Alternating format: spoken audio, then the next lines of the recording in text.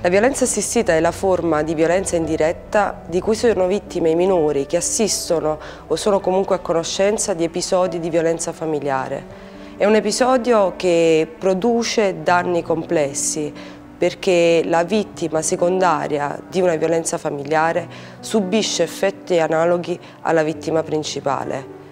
Inoltre essa è inserita nel circolo di trasferimento dell'odio e della distruttività candidandosi a divenire se stessa futuro autore di violenza.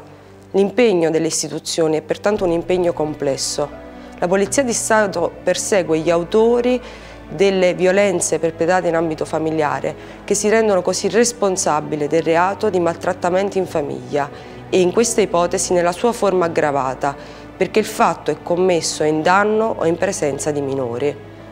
Il questore dal 2013 è stato munito di uno strumento di prevenzione, l'ammonimento per violenza domestica, che nel caso in esame presenta una peculiarità.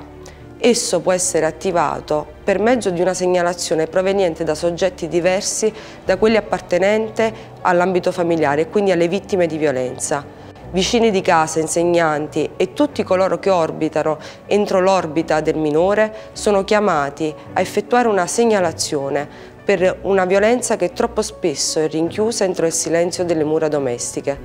Pertanto è stato forte l'impegno della Questura di Torino nel fornire strumenti di conoscenza e di attivazione della segnalazione a tutti coloro che operano nel tessuto sociale, che per noi sono degli alert sociali delle violenze in ambito familiare.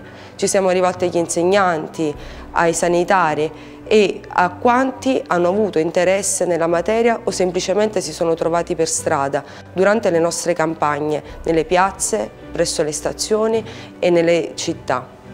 Ulteriormente abbiamo sentito un'esigenza più forte, cioè quello prevenire il rischio più grande di una violenza assistita, ossia che il minore, esso stesso, addiventi da vittima ad aggressore. Abbiamo quindi avviato un dialogo coordinato con strutture sanitarie e scolastiche per inaugurare un percorso di educazione alle emozioni rivolte ai minori affinché il circolo di trasferimento dell'odio e della distruttività venga interrotto e venga eliminata la sua trasmissione intergenerazionale.